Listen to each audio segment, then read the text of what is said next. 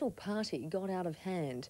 What started out as a no alcohol under 18 concert at a White Gum Valley Scout Hall turned into a riot when youths began smashing bottles outside. About 20 police cars rushed to the scene and took almost an hour to calm the 300 strong crowd. One policeman was treated for minor injuries after he was hit on the back of the head by a bottle. There were no arrests. Pelted with bricks and bottles by some crowd members. They'd come to watch a concert by two rock bands, but police say things outside got out of control.